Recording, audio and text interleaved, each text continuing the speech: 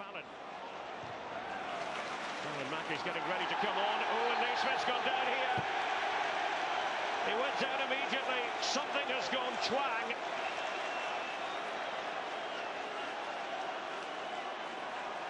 Well, just seconds after that Naismith Milsom incident, Steven Naismith collapses in a heap. Well, this one looks really serious.